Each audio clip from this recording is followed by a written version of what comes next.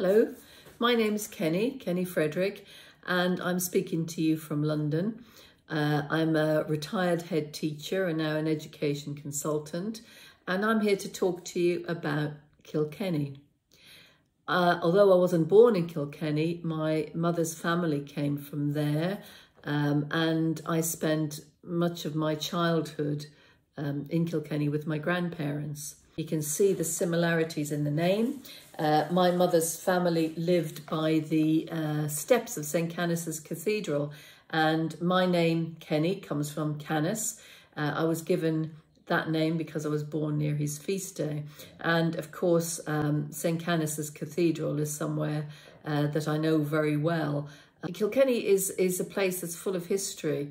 Um, it's a medieval city and so many different places that I didn't quite appreciate it as a child as I was flag hopping, as my uncle said, up and down the town, hoping to run into some boys. Um, I was going past all of these historic um, stairways and medieval buildings. Uh, we used to stop by um, Dame Kyteler's house to see if we could see the, uh, the witch. That's now a, a fancy pub and restaurant.